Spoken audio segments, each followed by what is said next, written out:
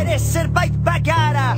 Itzekitaz euskaraz Euskalduna pasara Itzekitaz euskaraz Aizkorak Zorroztu.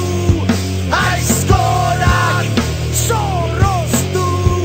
Aizkorak Zorroztu.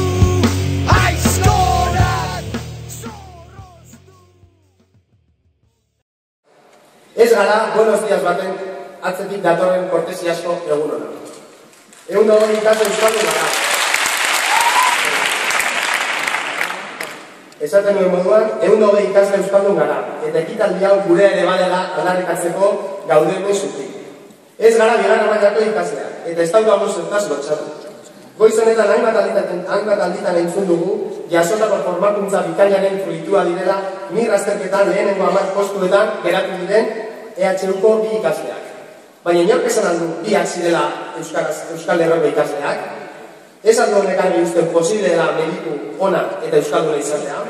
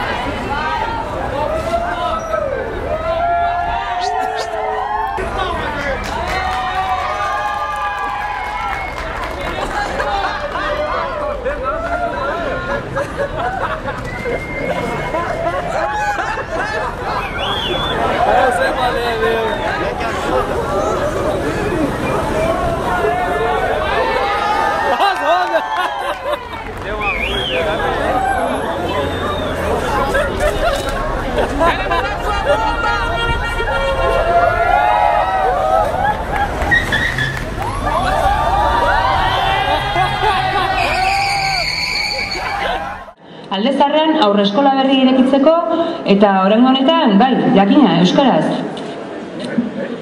Pues visto eso, ya ven, también nos hemos dado cuenta de que teníamos locales vacíos en el casco viejo, como este u otros, como las Salesas, que, fruto de la especulación, han acabado en manos de la mancomunidad. Así que teniendo niñas y niños euskaldunes, locales y, como no, profesionales cualificados deseando trabajar, desde luego que es fácil decidirnos a abrir una nueva escuela infantil en ese casco viejo, esta vez, como no, en euskera.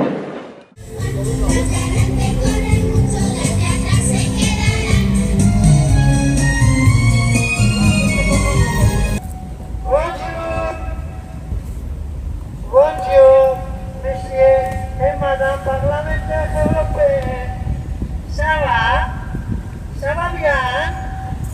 Très bien. Nous sommes venus de Maracando.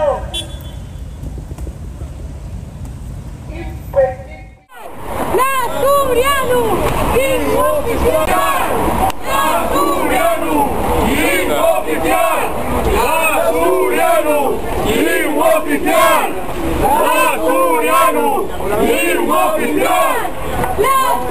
Euskarari doakionez, justuki eh, erakusteko bazela demokraziaren urraketa bat, nahi izan genuen hautatu eh, bo, lehenik mezu orokor bat, Euskararena, eta hautatu genuen eh, SNCF, janai baitu trenbideen sistema hori, bertan eh, ezinezkoa baitzen entzutea Euskara, ez bozera gailuetan, entzuteko mezuak, ez da ere karteletan, dena frantsesez zen ikusteko ordutegiak, ikusteko treinak ere noiz heldu ziren, norat buruz edo nundik, e, imaginazioa landuz, pentsatu genuen posible zela trein bat, treinak, blokatzea, uh, aratsaldo oso batez adibidez, antolatuz, uh, trenbide gainean mus uh, lehiaketa bat.